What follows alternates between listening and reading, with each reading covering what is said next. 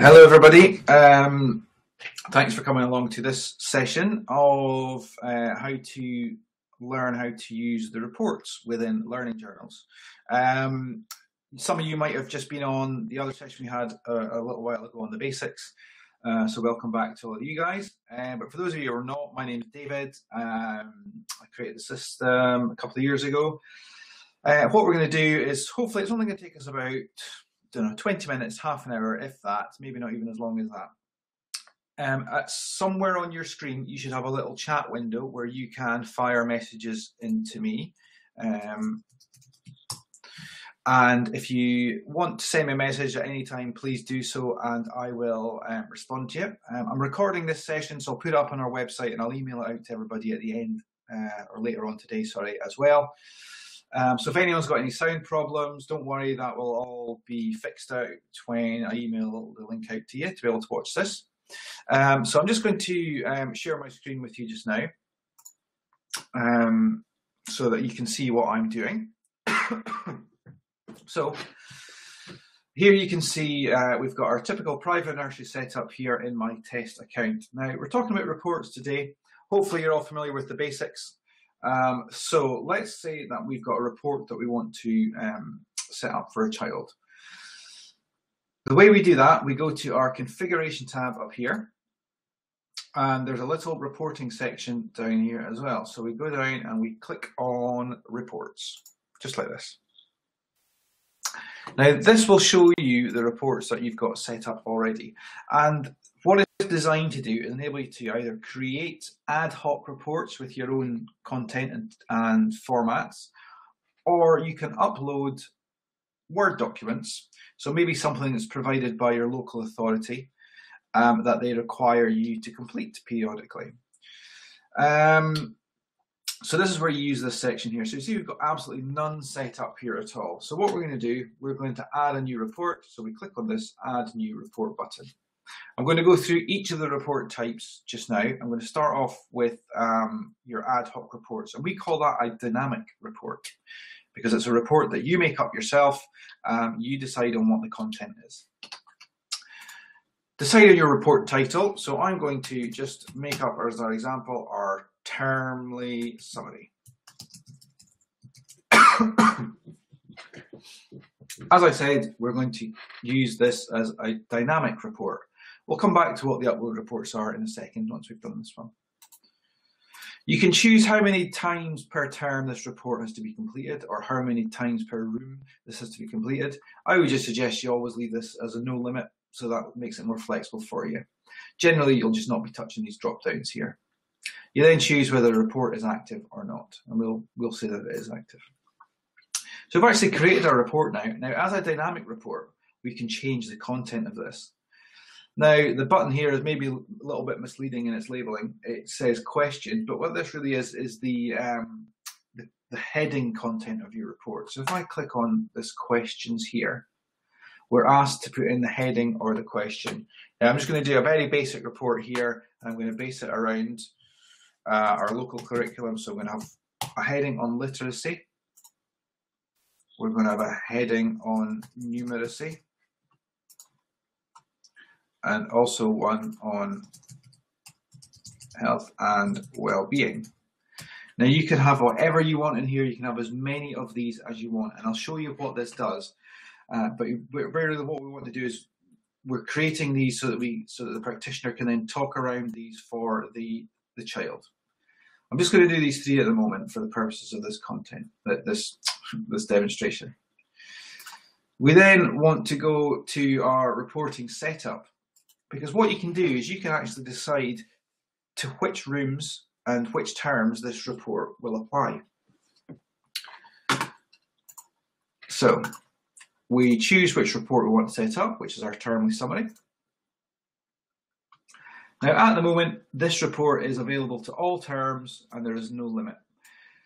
So depending on how your nursery is set up, you might have several terms throughout the year but you may only want this to um, this report to be completed and to appear in the last term of the year, for example. So you might choose your summer term.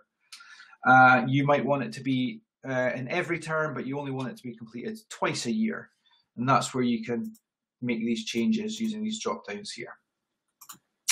If you want to, you can say you only want it to appear in a specific room. So I only want this report available to the preschool children, for example. And actually, I'm just going to choose that here.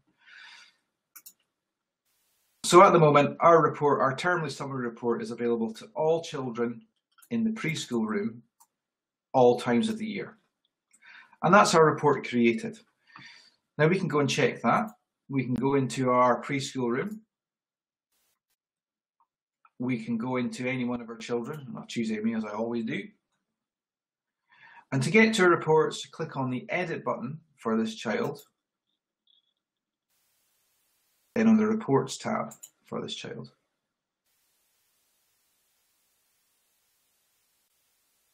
And here we can see in our current term, which is 2016, we've got a termly summary available to be completed we can see that there's no limit to how many times we can do this, and we can see that it's not yet been completed as well. Now, the idea behind this is that um, when you come to complete this report, you would then click on this complete button here. Uh, I've got one report here of sound issues. Um, I think that may be a local issue to you, I'm afraid. Um, what I would suggest if you're struggling, then I, I will be sending out a recording of this uh, to everybody that's applied or to everyone that's, that's here later on today. So we've ticked on our complete box here and that brings up our report. You can see we've got our termly summary report here. And then we've got boxes that the practitioner can now write about in here. So for example, I've just got a little bit here that I'm going to put into the numeracy one. So Amy's working well the numbers, blah, blah, blah. So you would write your report for here. You can maybe even put in a next step if you want to. And the parents would then be able to see that. Because what you can do is you can use this checkbox down the bottom here. Can the ch child's parents view this report? If you check that box, then yes, when the parent logs in, they'll actually be able to see this. And that's very handy for um, you know getting information out ahead of things like parent consultations. Those 10 minute consultations that they get uh, it's always best to give them as much information ahead of time as possible. If they have something like this report uh, then they'll have that and they'll be able to come prepared with questions and they'll know the gist of what's going to be talked about. We then click on the save report button here and it saves our report so um, you'll see that just in a second our report's going to generate there we go so we can see that we've got completed report, it's um, this P uh, denotes that the parents are able to view it and uh, we can view it or edit the report. So if I view this report now, obviously there's not going to be very much in here. There we go. We've got Amy Smith's term and summary. We've got her three sections and we've got what I put in just here. Very, very simple to set up, very easy, but it might take you a couple of times just going through that process of going to your configuration tab, going to the reports menu item, then adding your report, titling it and choosing and going through that process. Do it a couple of times, very, very simple, but once you've done it once, that report is there for everybody to be used and you can complete that as many times as you want. Obviously, these PDFs that are completed, you can print these out, you can save them, you can email them to parents, whatever it is you want to do with them. Okay, so that's our dynamic reports there. The other type of report we have is what we call an upload report. So I'm going to create another report here, and this time I'm going to call it our two-year progress check. Because I know that certainly in England, this is a very uh, important document, and your local authority may provide you with a template that they want you to use. So what we're going to do is we're going to say this is an upload report, and we call it upload because we're going to upload the template for this report. We choose our file, and I've actually already got one here. And what I'll do is I will open this up just so you can see what this report actually looks like.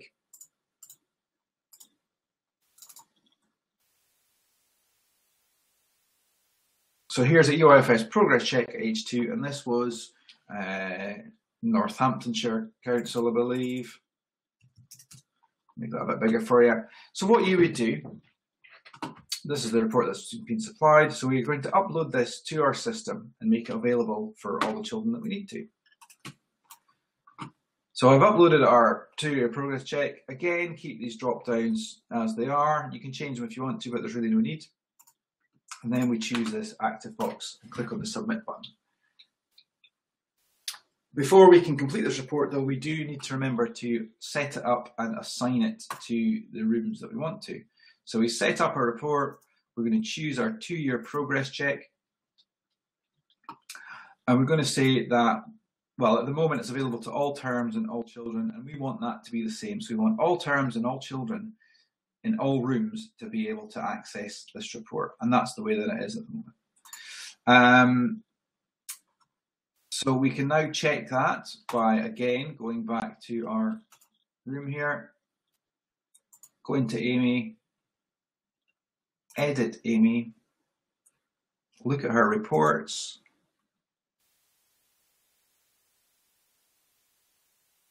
and we can now see that two-year progress check has appeared here as well.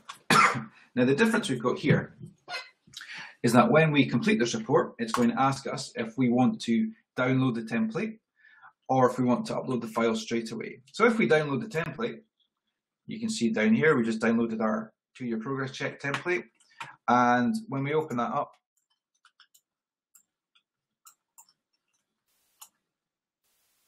we've got that here. And now what we can do is we can complete this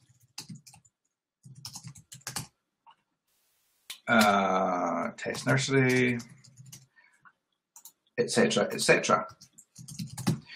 So we've completed our two-year progress check. We save this. And then we upload that file back into Amy's profile. So here we've got our two-year progress check that we've just completed and saved. Again, you can choose whether you want the child's parents to upload or not. We'll leave it not this time so that you can see the difference. So that's just now uploading that report. And in just a couple of seconds, it's going to refresh the page. There we go. We can see that we've completed this report now. Um, that was done today by me. The parents can't view it this time. So now what we do, if we want to view this, we would click on view. It's just downloaded Amy Smith's two-year progress report. We open that up and well, you can see it's just the one that I just did there. You can do that with any number of reports. There's no limit to what you can upload. There's no um, limit to the number of reports that you add. There's no limit to the number of uh, edits that you make to a report as well. Um, hopefully that has been useful in those two reports there. Really, there's nothing much more to it than that. And I would encourage you maybe to set up a couple of test reports, try it out for yourself, get your staff to try it out and, and fill out some Any more? If anyone has any questions, we'll just take a couple of more minutes to go to go through them. But at the moment, uh, we don't have anything there. If anyone is not yet using our system, you can go to our website, which is learningjournals.co.uk and get yourself a free trial. Click on the free trial up the top and complete this form and um, that will allow me to create your account. Um, we're always very, very happy to hear any suggestions that anyone has got that will help make the system easier for you to use. So features and things that you would like to see in the system that will make it easier for you, please do let me know about those um, because we're very, very flexible and can get these built in. Well, if that will be all, guys, thank you very much for, for coming along for this very short webinar. Um, hopefully you've seen it's quite simple to be able to, to use reports within the system. If you do have any questions after this, then please do get in touch. My, my name is David. You can contact me info at learningjournals.co.uk. And hopefully we'll see you again very soon for another Learning Journals webinar.